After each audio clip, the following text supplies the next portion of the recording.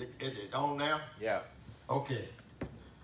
Uh, I got to say, I was born in 1944. I got born again in 1954. Amen. I've been preaching for 45 years. Yes, sir.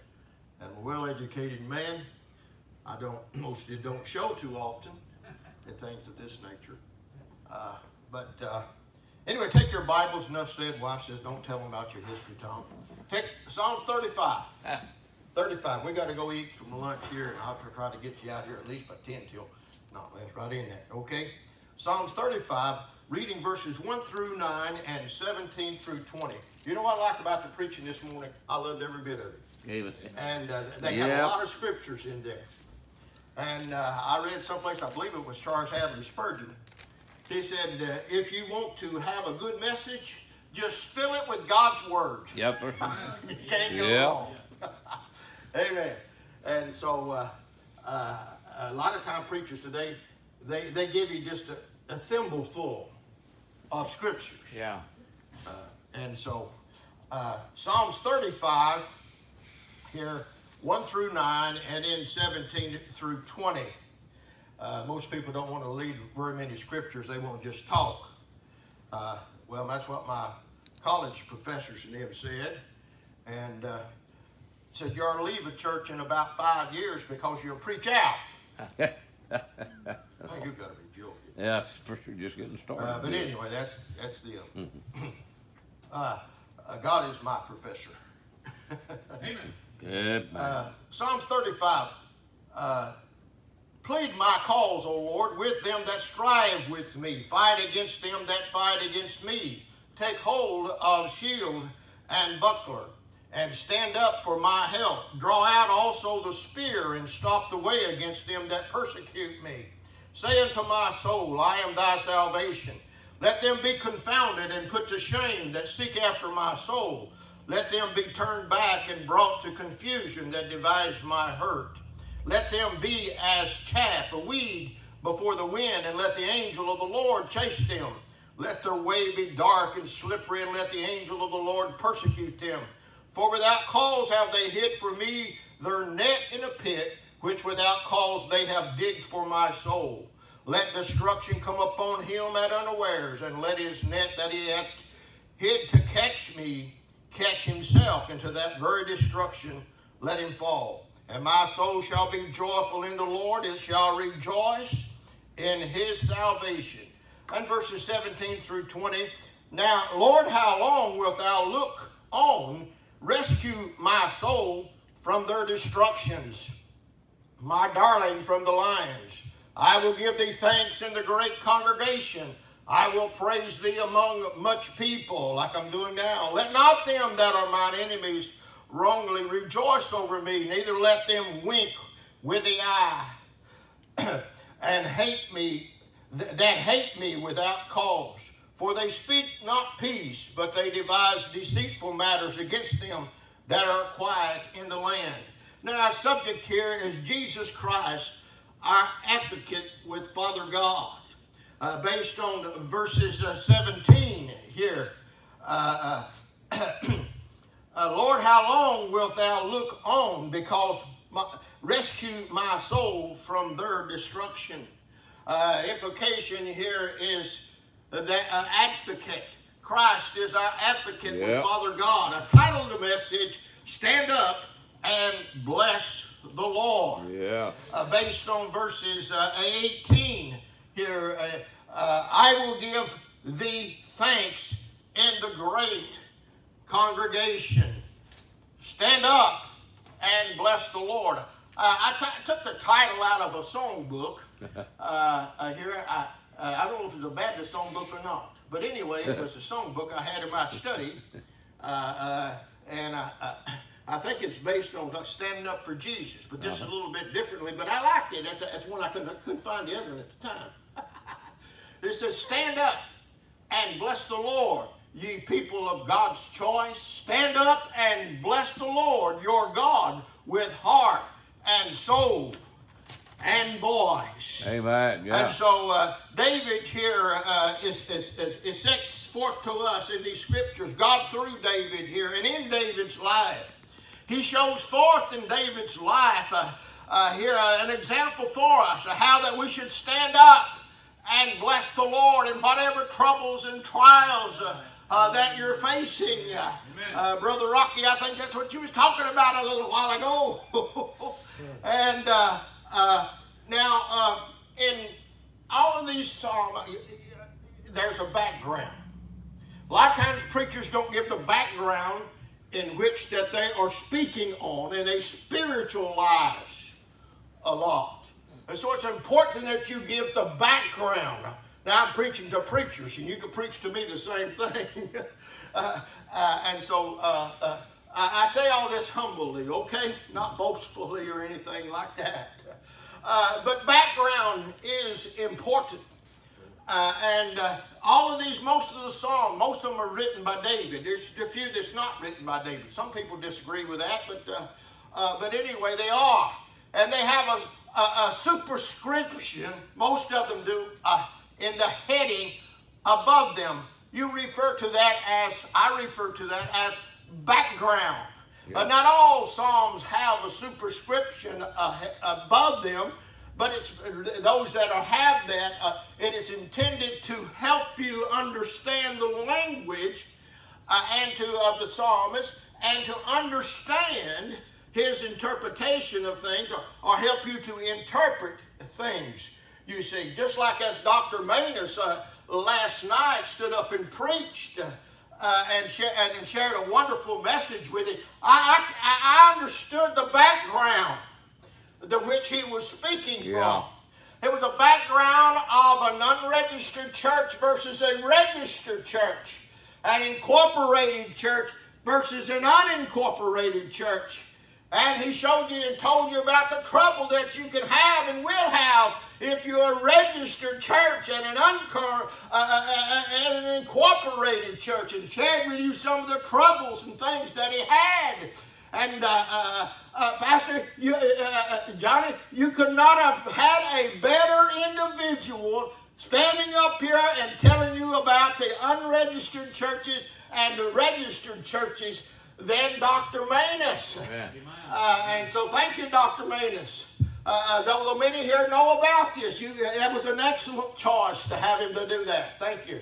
And so now the background of this song here uh, the date and, and, uh, uh, and troublesome time that King David of Israel is facing here uh, is not known for sure, it's said.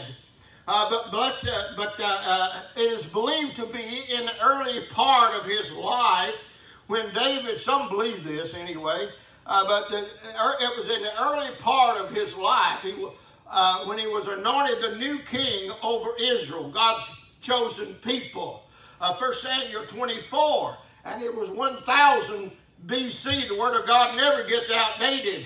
Saul was presently king and resented the fact that God was removing, deposing, and impeaching uh, him for his uh, idolatry, for his wickedness and cruelty. The kings of Israel were not to be despotic, but Saul was very despotic, you see.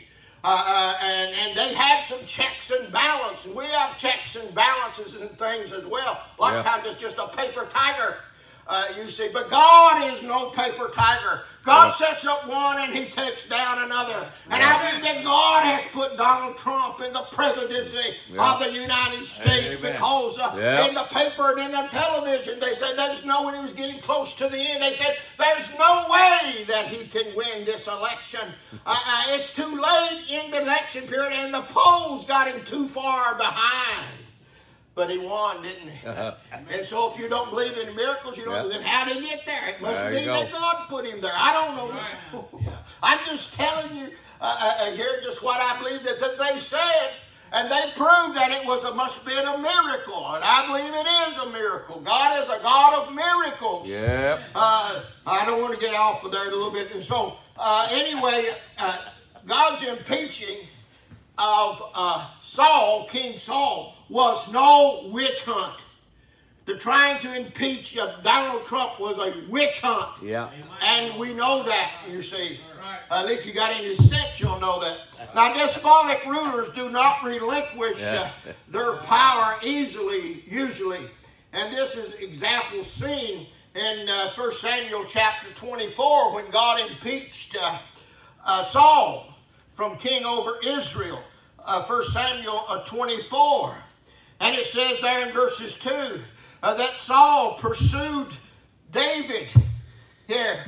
Uh, and and and and and uh, with uh, three thousand men, it's it's told to us there as well. Three thousand armed troops, and David had four hundred men. The psalm tells us as well in Psalms twenty-two two. It tells how many men David. 300 men against 4,000 yep. men is not a good contest. No. Uh, but God is all powerful. Yeah. And so the Lord, David said, avenged him uh, here and delivered him out of Saul's hand. Verse 20, Samuel 24 and verses 15. The Lord therefore be judge and judge between me and thee and see and plead my cause and deliver me out of thy hand. Now, actually, David was uh, uh, uh, the father. Uh, David's father-in-law was Saul. Most people don't know that. And uh, David married Michelle, Saul's daughter. You see, and so uh, it was arranged by King Saul out of favor uh, for David's brave military exploits in killing Goliath, the Philistine giant, uh, there. And uh, so that, uh, uh, that it says here in uh, 1 Samuel in 24, show you how important context is. It says in verses 11 here, or verses, let me see here where, where that is. Uh, uh, he, uh, yeah, verses 11 in Psalms and 1 Samuel 24. Where here, here David is speaking to King Saul uh, when he was in the cave. Both of them was in the cave, and they would happen to be in the cave at the same time. He was in the cave of Engedi. And there's some pretty large caves, I, I understand what I read about yeah. in Israel. I've never been over there. I'd like to go. And some of them are half a mile or a mile long and wide and things of this. And it's dark in caves. They didn't have any lead lights in that day. And, and so Saul and his army went and camped inside that cave. And David and his men happened to be inside that cave as well. And so David sleeps up, slips up on him like a good soldier do. I used to train me Marines how to sneak up on people, you know, and things of this nature. I'm pretty good at it myself. I know a few times of them sneaking up. I used to train them. Uh, uh, we got some great soldiers. Uh, uh, they're just not Marines, Army, Air Force, and all of them. And so uh, they was coming up the hill, and it was going to overtake us and things of this nature. Well, I I went down the hill. I played the scout on them. I went down the hill and I stood behind, I got behind the bush and I threw some rocks out here and rocks over there and I seen the squad coming up, the squad of Marines. And they just kept coming up and they kept following the sounds that they were hearing, which is natural, right?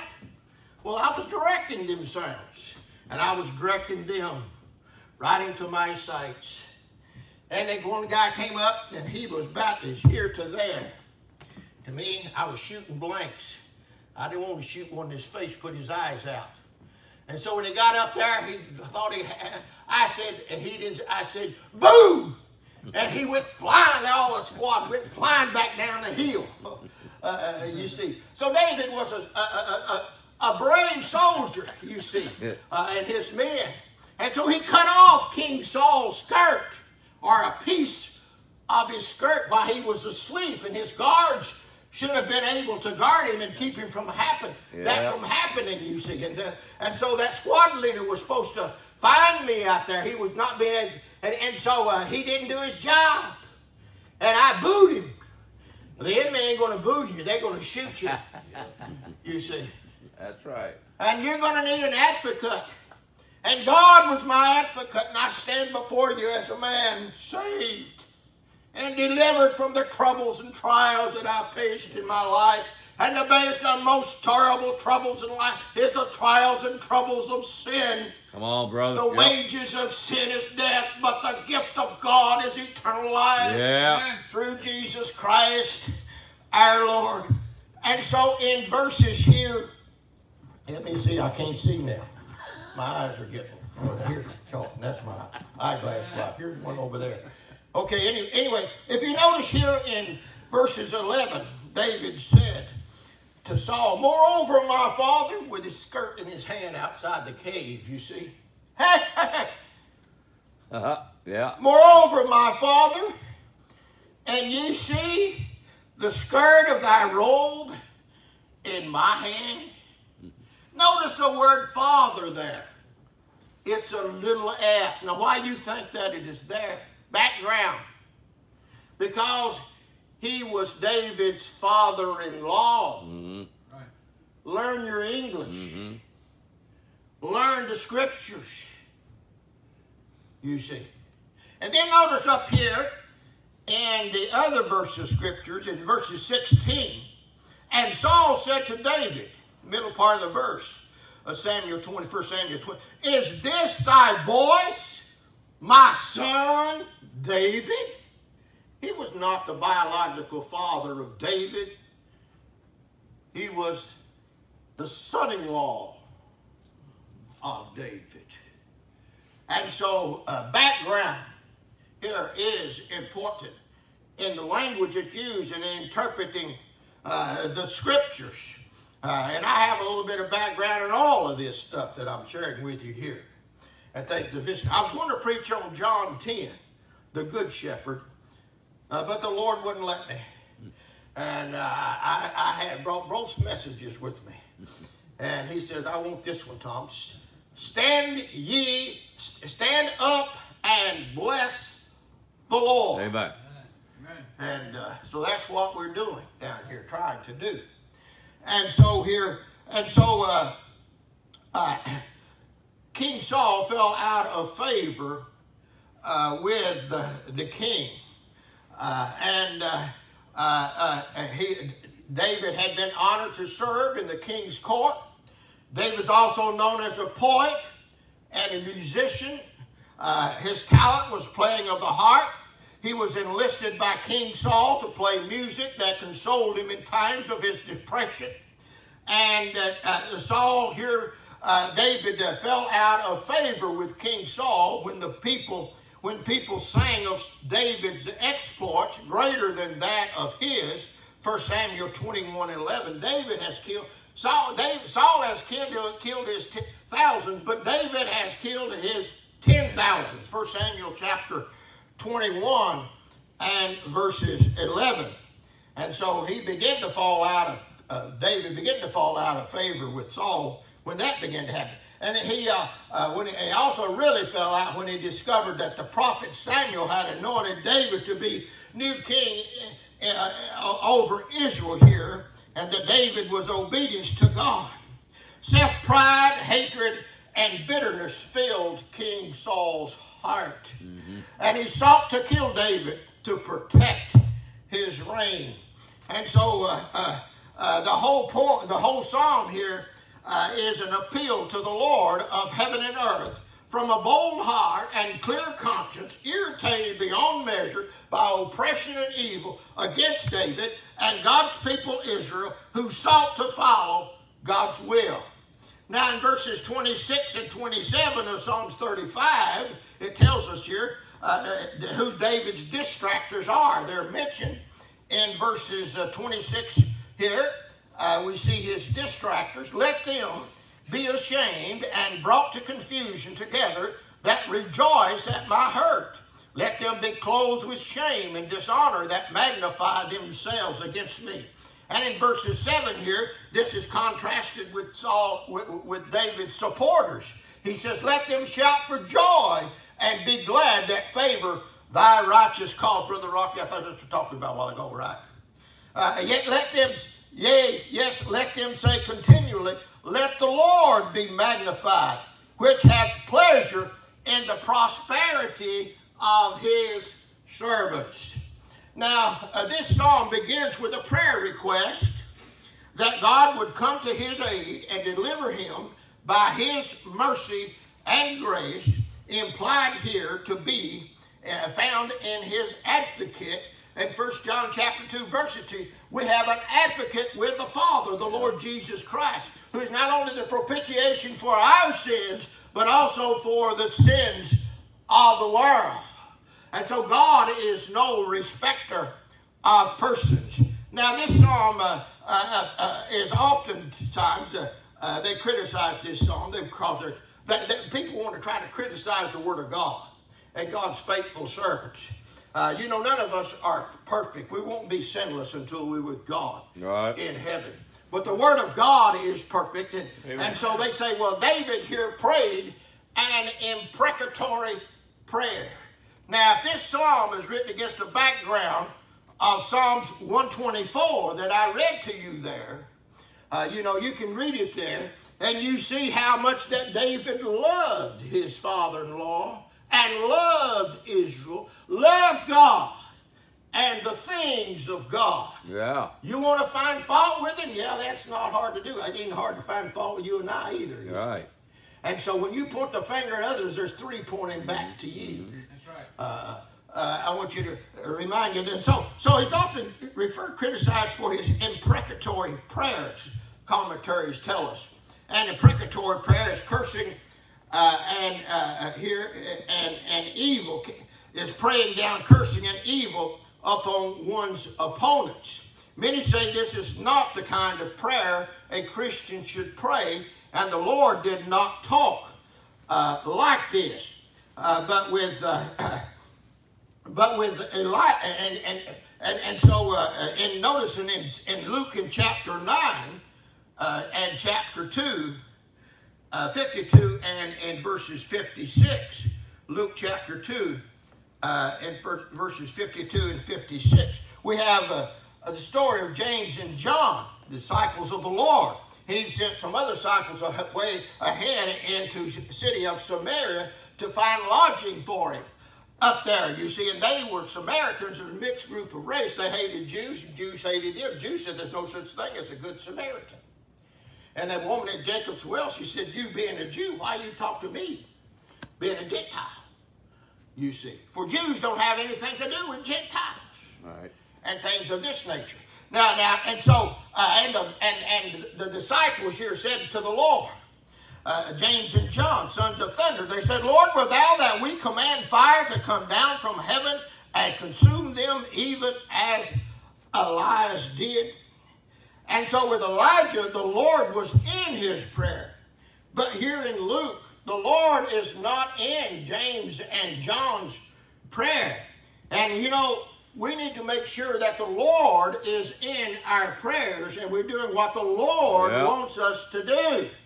And if the Lord's will for you to call down from higher from heavens, so be it.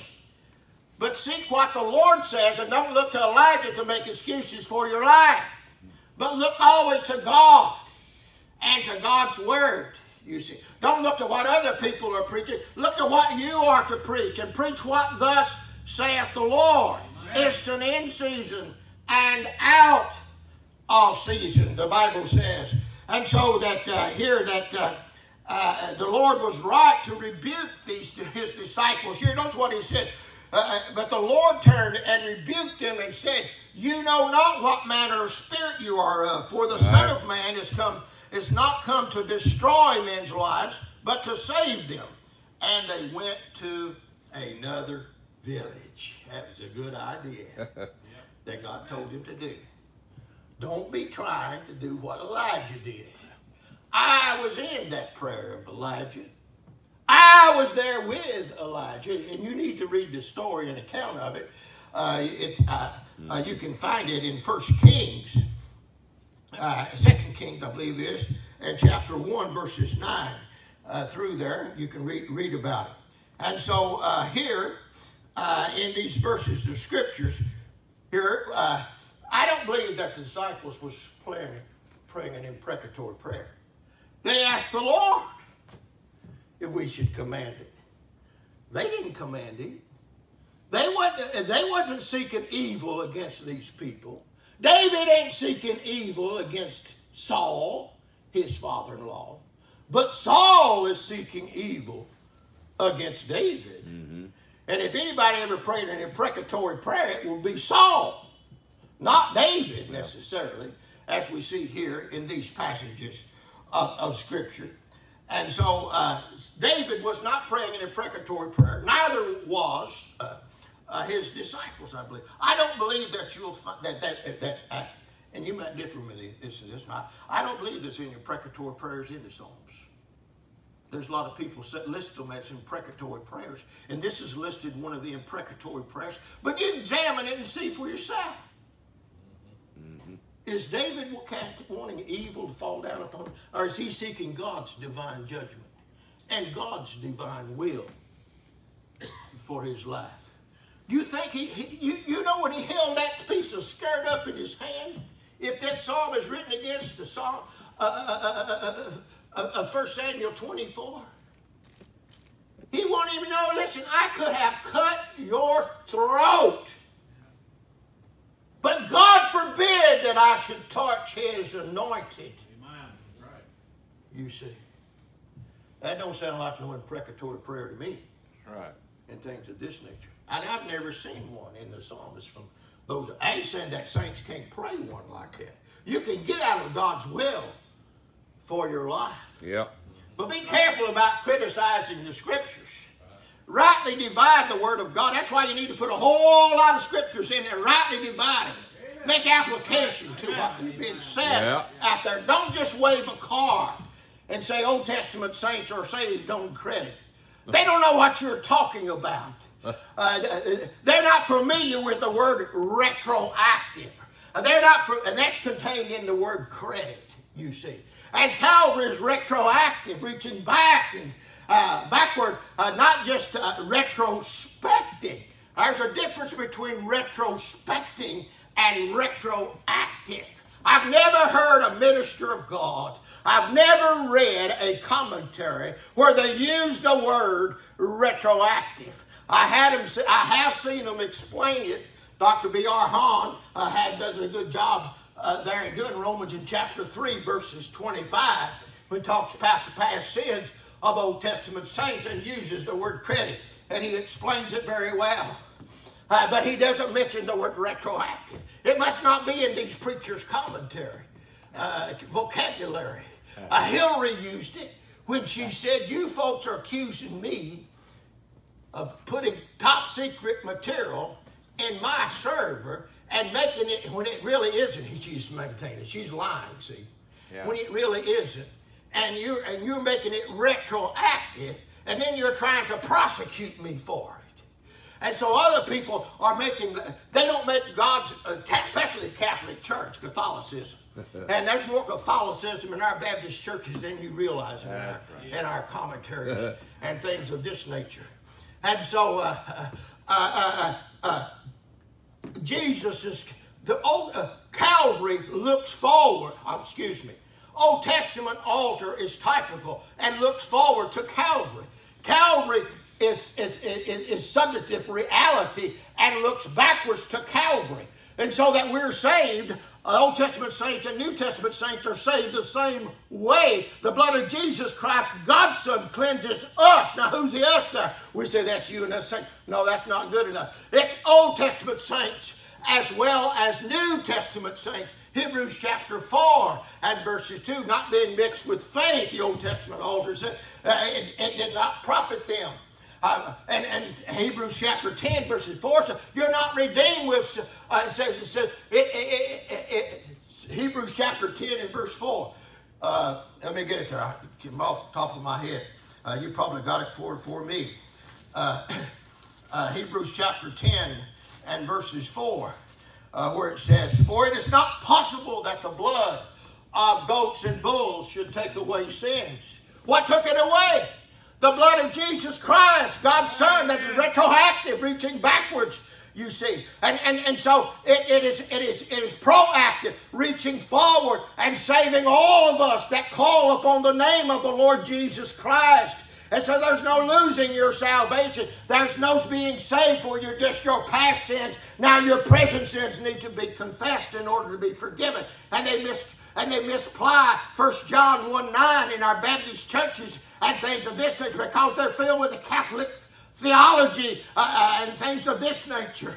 Uh, uh but the, uh, uh, it is retroactive, and, and it teaches us in Hebrews chapter 10 and verses 1, verses 11, 10 here, by the which will we are sanctified through the offering of the body of Jesus Christ once for all. Verses 14, for by one offering he hath perfected forever them that are sanctified.